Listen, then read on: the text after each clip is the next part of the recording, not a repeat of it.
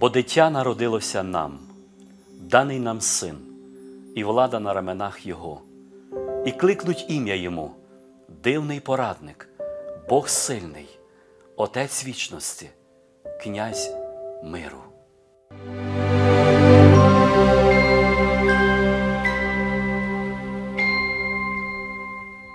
Ми святкували Різдво, але святкували потайки вдома. Ми співали колядки, різдвяні пісні. Я дуже добре пам'ятаю, як е, після служіння, де ми були на різдвяний період, це були канікули. Коли я прийшов до школи, і вчитель, який був вірний атеїстичному режиму, він так перед всім класом мене висміяв, що я ходив на зібрання віруючих, будучи ще малим. І це було неодноразово.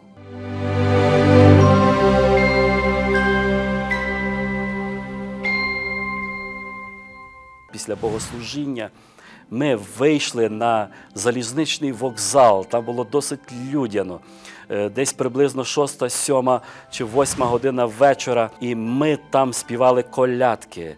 Е, Потім ми сідали у поїзд, їхали в сусіднє місто е, на богослужіння. Також ми потягом їдучи, співали колядки на площі, на вулиці, в тролейбусах.